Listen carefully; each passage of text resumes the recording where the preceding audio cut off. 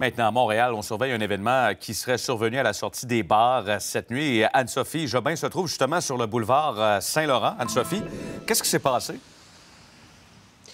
Il y a un homme qui aurait été poignardé à la sortie des bars, en effet, donc vers 3 heures du matin cette nuit. Je vous montre un peu la scène ici. Il semblerait y avoir deux restaurants d'impliqués, donc un du côté gauche de la rue et un du côté droit. Ce n'est pas très clair ce qui s'est passé, mais ce qu'on peut vous confirmer, c'est que l'homme de 20 ans qui euh, aurait été poignardé là, est hors de danger. Il a été transporté en centre hospitalier pour traiter ses blessures, mais il se porterait quand même bien.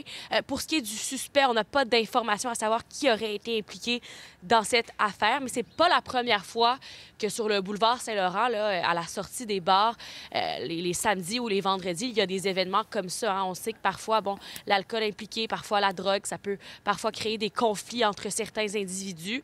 Euh, pour ce qui est de cette scène ici, donc, il n'y a pas d'impact sur la circulation ce matin parce qu'on sait, là, on est tout près de la rue Sherbrooke. Parfois, ça peut compliquer les choses un peu sur le terrain parce que euh, si on bloque la rue, bien, c'est un, une avenue assez importante sur l'île de Montréal mais il n'y a pas d'impact ce matin. Comme je vous disais, euh, la victime qui se porte bien. On aura peut-être plus d'informations sur l'enquête, mais ce matin, sur place, il y a l'identification judiciaire et quand même une bonne présence policière pour s'assurer de la sécurité de tout le monde. Voilà pour ça. Euh, on revient maintenant sur cet événement survenu dans le quartier Centre-Sud. Ça se passait hier. Euh, Anne-Sophie, il y a un homme, on le rappelle, qui a été retrouvé inerte dans une voiture. Et là, il y a du nouveau dans cette affaire-là. il, y a, il y a du nouveau, mais on a très peu d'informations encore, Pierre-Antoine. C'est une histoire qui évolue très lentement. Euh, c'est hier, donc, vers 10 heures qu'on vous en parlait, en quartier centre-sud, au coin des rues Dufresne et Logan. Et euh, sur place, ben, il y avait un grand périmètre de sécurité dès 9 heures le matin.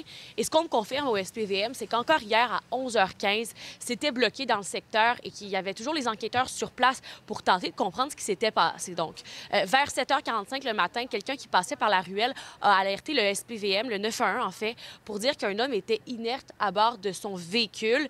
Et il n'y a pas d'information à savoir s'il s'agirait d'un crime, euh, d'un homicide, mais ce qu'on sait, c'est qu'il euh, y avait les crimes majeurs du SPVM qui étaient sur place hier toute la journée, l'identification judiciaire aussi. Mais qu'est-ce qui s'est passé exactement dans cette histoire-là? Il n'y a pas de marque de violence.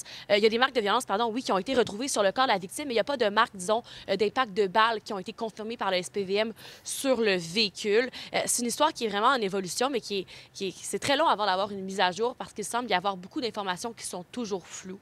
Alors, peut-être qu'aujourd'hui, on aura plus d'informations mm. pour vous aussi là, sur cette histoire-là et sur celle ici, sur le boulevard Saint-Laurent, ce matin à Montréal. On va suivre l'évolution de ces dossiers avec vous, Anne-Sophie. Merci beaucoup.